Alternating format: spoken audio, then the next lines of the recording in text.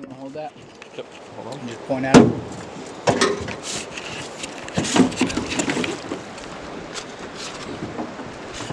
Dip a little more line in. Fuck.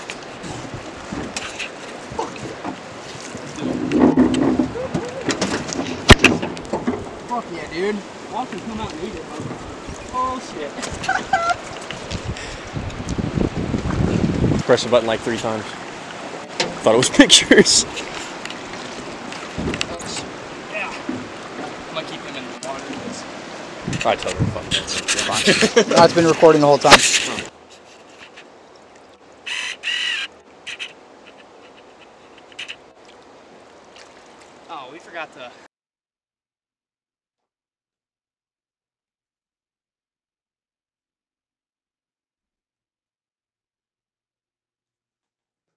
Ah, yes. The noises of sitting down and realizing that I forgot to take out the recycling.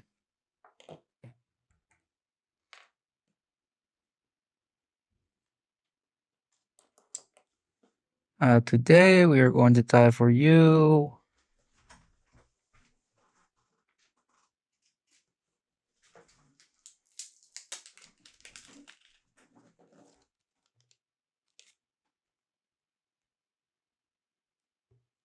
Mini.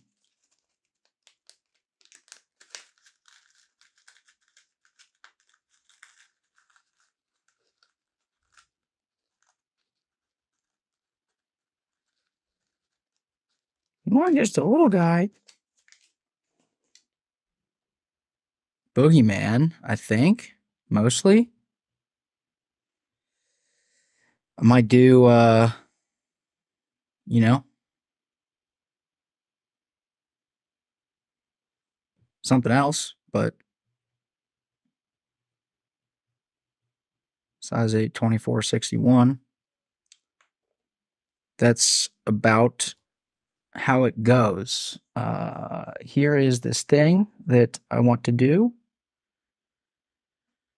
Please note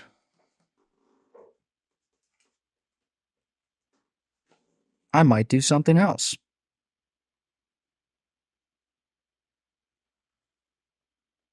Marabou. Now, with Marabou,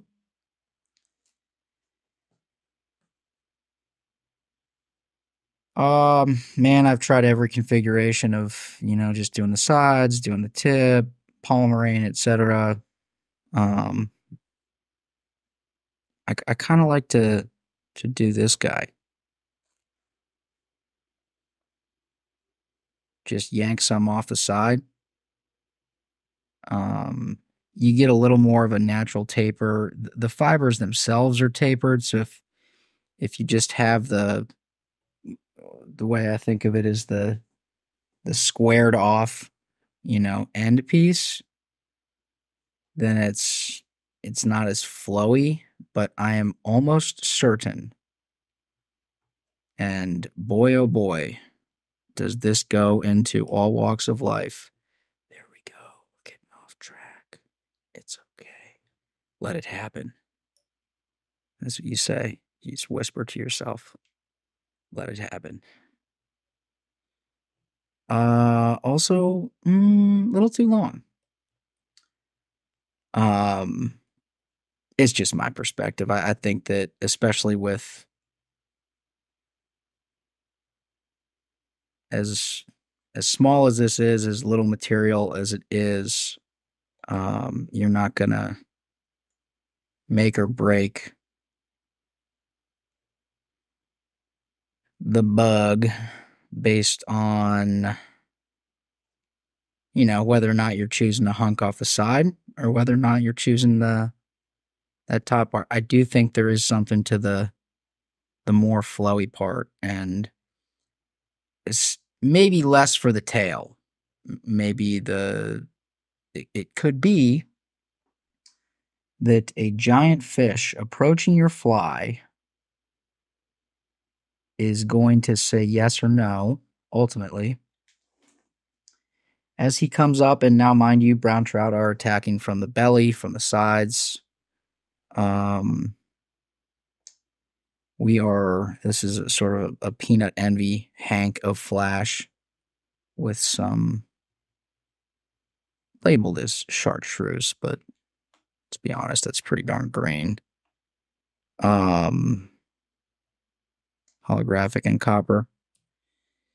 Yeah, I don't think that brown trout is just going to be like, whoa, that tail is a little too flowy, or mm, I'm not sure. Looks like that marabou might be there. You know, there's there's so many different components of of what go into a fish committing or not that um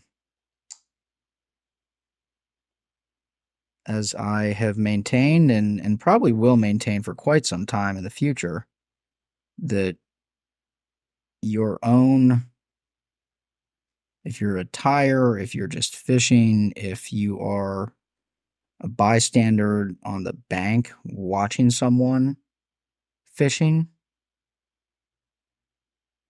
certainly if you're me,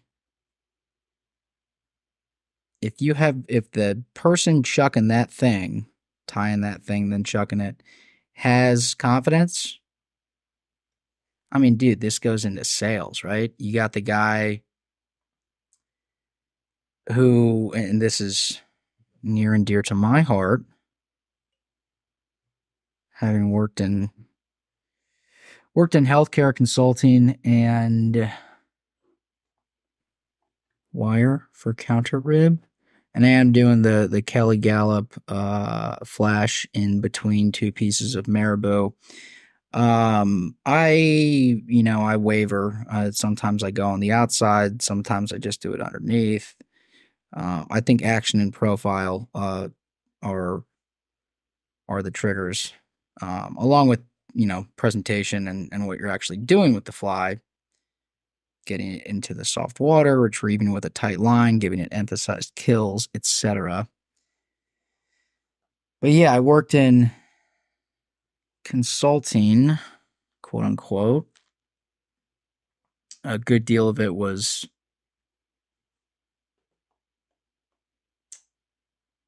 what do we want? What do we want? Uh, data modeling, forecasting, analytics, things of that nature. And so I worked with I worked with sales teams. I also worked with the, you know, the intermediary. I was the intermediary, uh, oftentimes between accounting, the, um, you know, the production team, the, the product team, people who actually did created the technology we we would sell, and the the guys selling this just knew next to nothing about what was actually required. We're going to go tan UV ice. And that's just uh, direct dub. I think this is Charlie Craven. Gonga, I mean, come on, dude. When you're going when you're going from boogie man to Gonga or dungeon. It's just it. We're talking double buggers and we're talking different heads with some other stuff in between. Um, not being disparaging or whatever. It's just that's what it is. It's two woolly buggers with some stuff um, that is either included and called one fly or excluded and called a different fly. Is there a double bugger? It's called the peanut or the peanut envy. Um, yeah, so the confidence that that some of these folks would have with just zero knowledge, and and I think some of that. All right, pause. Pause the story. I'm tying the schlappen in tip first, coming forward, because this is a small hook. I just want those those shorter fibers. If I end up doing the, you know, tie in from the base and then go back and then um, counter rib as I'm about to do, what ends up happening is, you know, this this back hook, this size 8 2461 is overtaken by Schlappen and it wraps around the hook bend and it all of a sudden it's like it's too big for its breeches, breeches. It's too big. Its pants don't fit, and we don't want that. And so I didn't have hackle at the ready. So I just did uh started with the tip move forward. It's a way to just get those smaller fibers and you get to keep this juicy chunk for either the front of this bug or another bug that is smaller. Mallard flank. Now with the minis, we don't have to worry about the the super picky, you know, really really nice. I could use a little more length on that, but um watch me watch me care. I'm not going to say watch me not care. So doubling up because these guys are kind of soft. Some of them are a little more rigid, but I'm out of my more rigid and slightly longer. So here we are. If you can get those things going, you know, if you can get some some flanks that go, eh, that's maybe just a little short, not not terribly. While we uh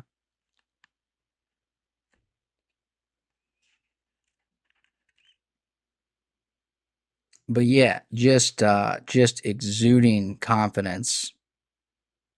And you know, I watched some of this cuz it's not like I had I, I was you know, I was 23 when I was starting and um, I was very comfortable with numbers and with, um, you know, modeling, and I'd studied physics in college, and that was that was my major, and a part, a, a very large part of that was effectively what the corporate world calls forecasting, but creating predictive models for you know, you have a particle of some mass with these forces acting on it, and given all of these forces and other variables, we expect it to do this.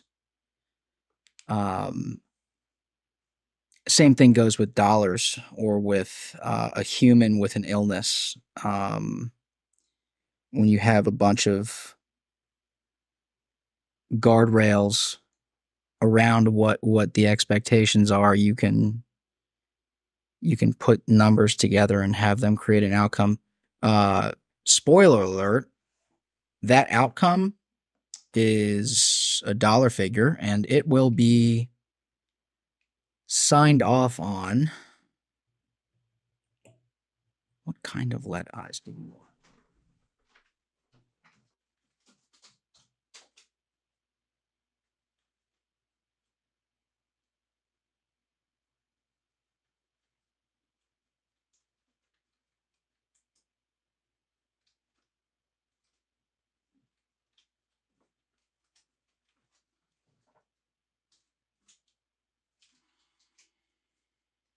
Processing, processing.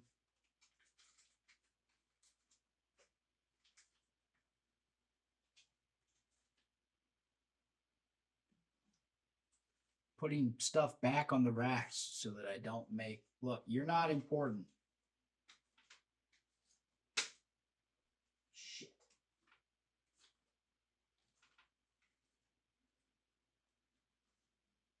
This video is not more important than my ability to find shit in like eight hours when I'm back here tying, not filming it.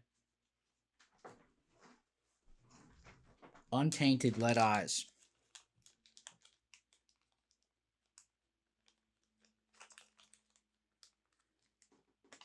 Yeah, it's gonna get signed off on if if a number, you know, the final net present value investment or uh, return on investment or internal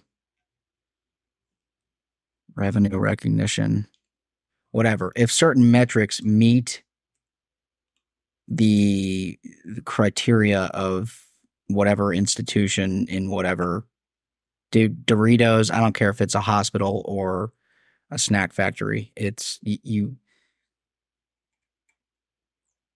I would kind of joke that the first thing you need to do is figure out what the number is that that they need to hear. And then um, you just tell me that number and then I'll enter it in. Like I have a keyboard right here. And so if the number's you know 4.5 million or you know uh, cannot exceed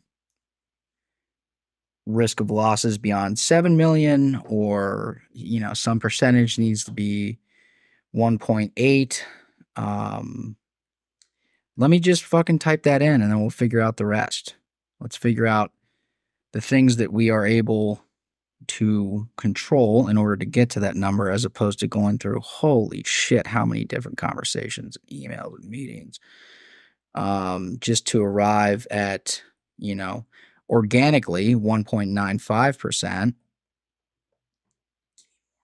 Um, it, only to tweak some other stuff that is like literally the uh, nurse care managers that are going to be attached to this clinic um, as instead of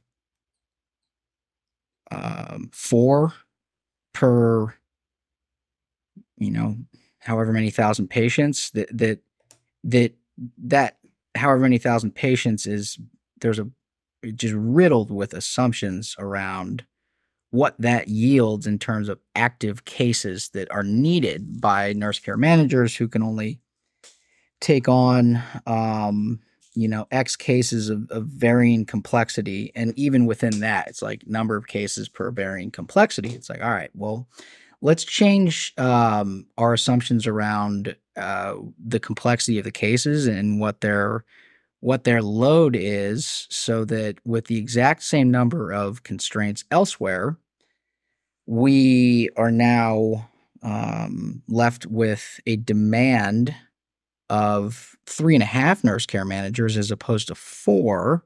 And all of a sudden that 1.95 looks like 1.85 and ding ding ding looks good. And then you go over these assumptions with people and it's like how many different if you have enough shit it's like arguing. It's like arguing with your significant other and um not going to be sexist. Just uh one one party in that argument. If you are arguing somewhat regularly, may or may not, uh, you know, just keep throwing shit into the mix until the system is overwhelmed, where you just say, God, all right, I can't, half of this stuff doesn't even make sense. So um, I'm not even sure to what or to whom I, I am yielding but I yield. And bang, there's your lesson on both relationship management and getting your greedy little deals signed. Make stuff up. Create enough of a reality around what that thing is that you've made up with numbers and, and data, that's important. Observable data. Um, from people, you know, that aren't at all in this market or attached in any way to to what is is actually real, but that um, have confidence. And so you're just baking in confidence. You just bake in all this confidence. You bake in the the the person pitching the deal has confidence. The person running, well, I'm not, you know, I'm I'm just the numbers guy, but I'm really fucking good at my job. I'm just the I'm just the whatever guy, gal. I'm but I'm really good at my job. Everyone's so you have this team and that's really what it is when when you have consultants venture capitalists, um, it's all really the same coming in and giving advice in an industry that, that they have no business doing. And uh you know, what are you going to do? Sell on shaky footing? What are you going to do as a client? Buy heck with with guides. I mean, wow, Ellis might be bringing it full circle. I don't know. It sounds like he's derailing.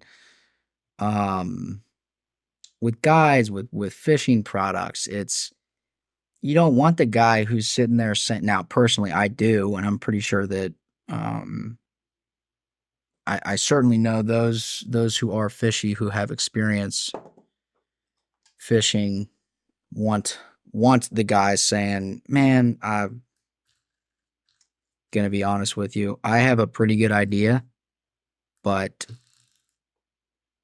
it's fishing. Shit changes. Um, I don't know who you know. I don't know what your skill sets are. Like I, I, I can't tell you that we're gonna pound fish." But the the overwhelming majority of advertising in this industry, and you know specifically on social media, which has some some ego influences, we're gonna do a we're gonna do a complex twist. Um,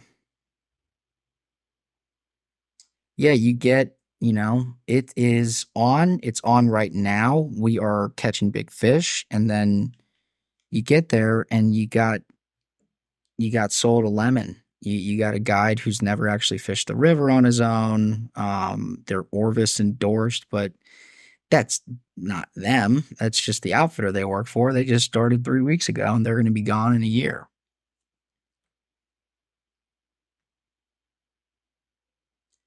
But you have, you know, the there's there's two different I think approaches to not just fishing, not just guiding. Um, you got the you got the let's do it now. Let's get let's get money now, let's get clients now and and kind of figure it out later. And and that yields I personal opinion, um, not good stuff. And then you have um, the, you know, build build some trust and and build a relationship and build relationships that are based on other relationships. And I think that's ultimately the way to go. It's certainly slower, but I think there's more longevity in it.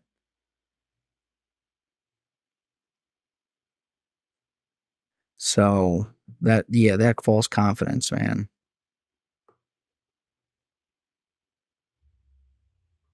It it's tough though because in a world where I'll just use me where I'm competing against this false confidence, you know, I'm I'm watching outfitters and um and their guides and and other independent guides it, it's much less on the at least the established independent guide.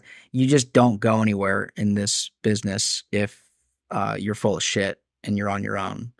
The only way you go anywhere and you're full of shit is if you have either, you know, guides that aren't you to fall back on, um, or a product because that's you know that that is something that the consumer gets and it, that it's on them.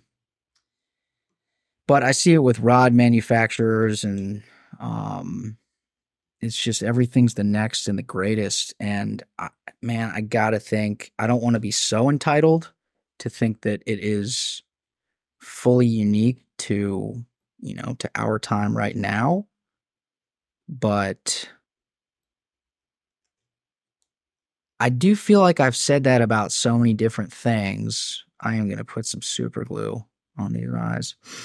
And I might not be giving credit to how mm, particularly and almost exclusively fucked our culture and our social norms are. Um, I try to keep myself a little insulated from it and and have a perspective that is very selfishly based on my own experience.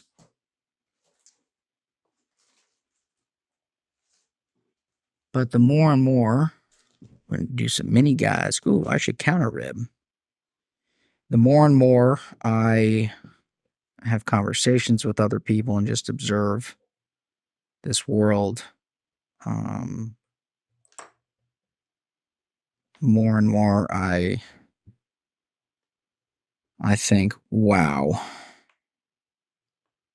this actually might be as bad as some people are saying it is.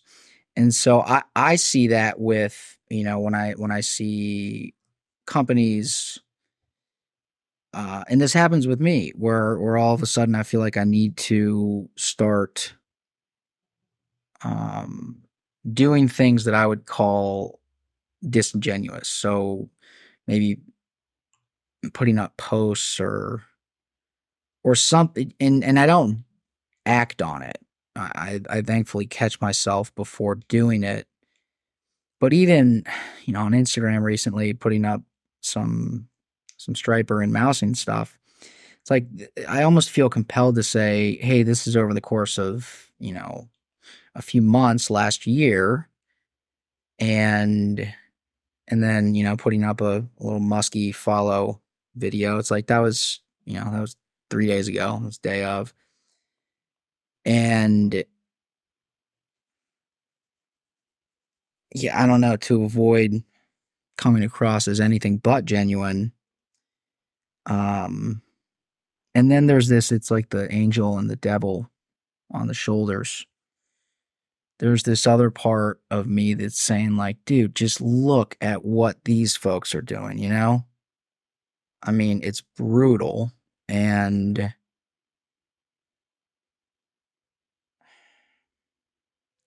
it gets it gets funky with with it being both my job so there's you know there's some ego involved in like i want to do well as a professional and then there's also some ego and it's like i love this and and i do know i'm very confident in my areas of of expertise and it's it's deflating. It's belittling um is devaluing to to see others rewarded for um pretending like they are something that they are not. And I think one of the most disheartening parts of that is that I it, that was such a an ouchy thing in um, say the corporate world where it just the louder someone is the the more they get ahead and I, I didn't intentionally seek out fly fishing as a merit based endeavor but as I found my way into it, which kind of started with tying and and I started to do some some teaching.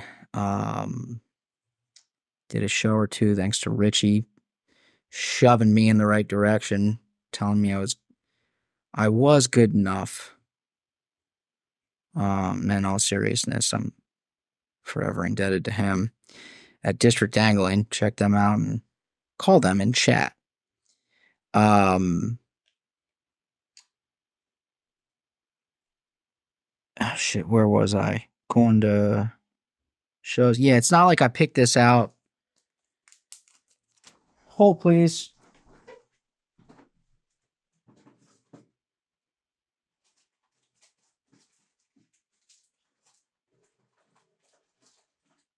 What color head are we doing? Pink? Sounds good.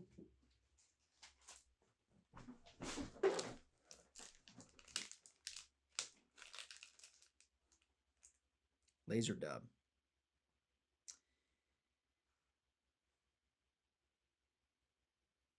But as I got more into it, it it became clear, you know, looking at the the independent guys and, and the people that put their names on something, that it just seemed somewhat inescapable.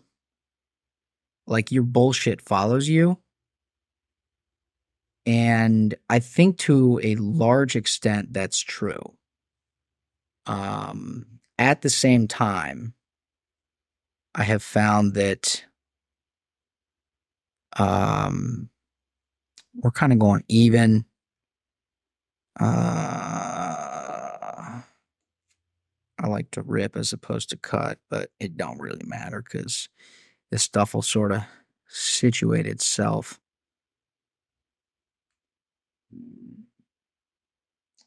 Yeah, that that um, y- you can just entrench it's like those arguments. You can just continue.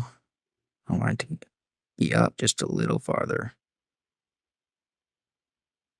because I don't want a giant laser dub head on this. You can continue uh, to just feed bullshit into whatever it is social media, your client network, your employees, your coworkers, yourself. Ooh, ooh, ooh. Uh, what? Yeah, you can just confin- continue to fucking.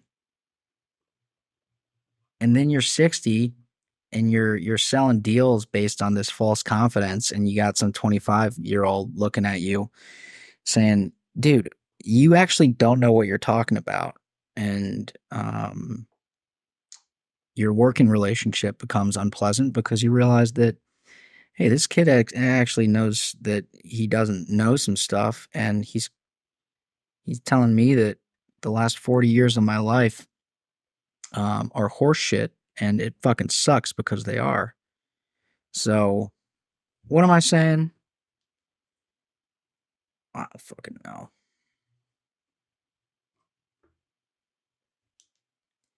Be okay with not knowing stuff. If you don't know stuff and you want to know stuff, put in the work to know it. Don't just don't just act like you know stuff. Okay? That that that's that's all walks of life. This is a little, and give credit where it's due. Josh Varner doing a little full veil right there between the the collar tie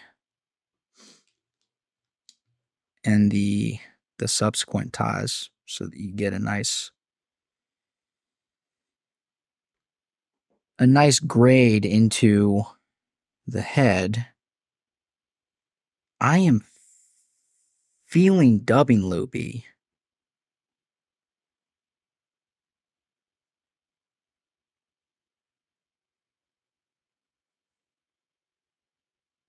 Because the you know the way Kelly ties this with either either laser dub or or wool, I'm not sure. There could be an iteration of of something. Um, or he's doing a dubbing loop. But these heads, I, I do it with deer hair as well.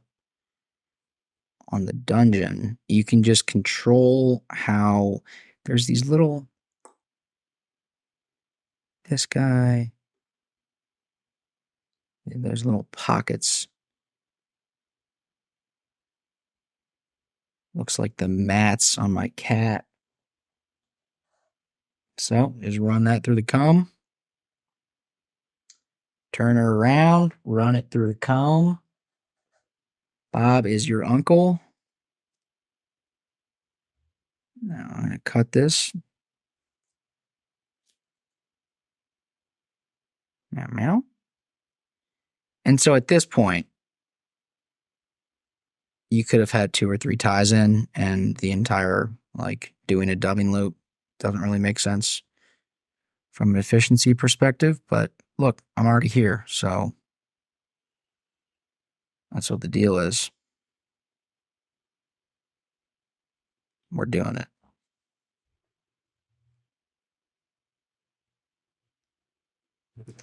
And I started doing dubbing loops, a laser dub. Oh, shoot. Back in 93? No, it was 96, I guess.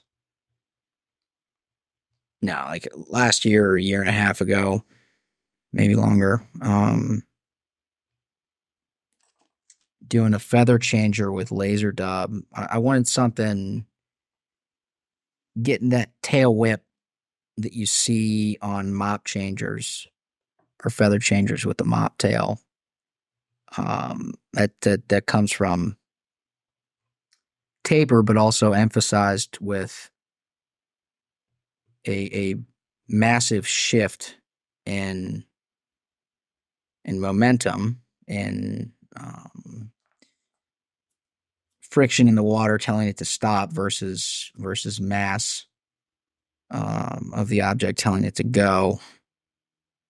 And so having that soaked mop tail really densely just at the end. So I kind of kind of wanted to to see if I could do that somewhat gradually throughout a fly. So I started doing this. And it's fun. I mean, I like it's fun. I like fly tying. I, I like uh, I like the process of tying that fly. I think that I like the crafty changers. I don't know. I was thinking last night about tying tying some more laser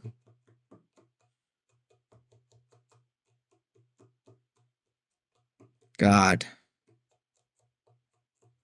The name, the the fly names is laser um it's a laser and a feather changer. Oh, the phaser changer. Hit me with a car. And then when you look back, and I'm just kind of I hit a duck. Um, not terribly long ago. And I'll occasionally come back around the eyes. I don't think I'm doing that right now. No. And, you know, after I hit the duck with my car, it was not doing well. And I kept going, and in the rearview mirror, I saw a duck. I presume dying. You know, maybe the cause of death would would ultimately be um, a fox you know eating it while it's still alive but let's just say I played a role in that outcome, if that is how it died, but it probably died from severe internal bleeding. Um, and maybe the right thing to do now. imagine you are you're driving along peaceful East Tennessee Road, wherever you are peaceful uh, peaceful Michigan road, peaceful Ohio road. And and you see someone, you know, way up hit a duck and then hammer that thing into reverse and go over like twice, not just back in it, not just back and then on its way again, but back, forward, back, forward, and then continuing on the highway. Um, I think that's the right thing to do. So if you ever see me taking myself seriously, calling a laser dub um, embedded feather changer, the phaser changer, not only do I want you to strike me with your vehicle, and look, I have good reactions. I'm it's not like I'm paranoid, but I generally my head is on a swivel at most times. So you're not going to get me going 25 miles an hour anyhow. So not only would it be uh, would I appreciate uh, you know an 85 mile an hour impact, but you might actually be required to really come in with some velocity and then back up. Don't be a sicko. Back the car up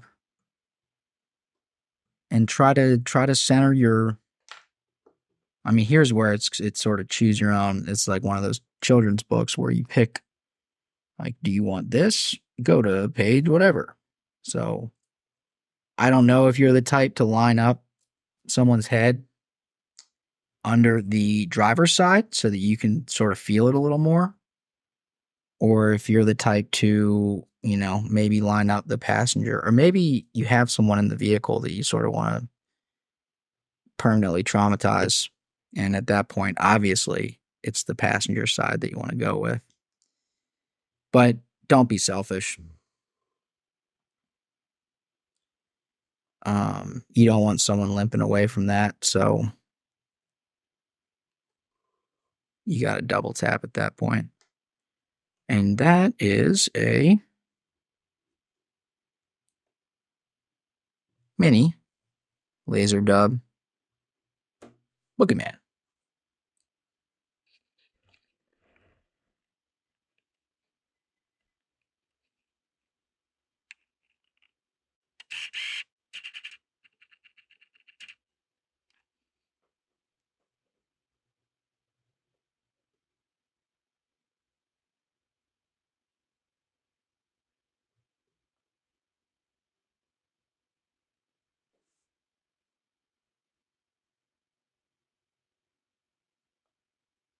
Have fun out there. And if you're going to kill something, kill it dead. Book your trips.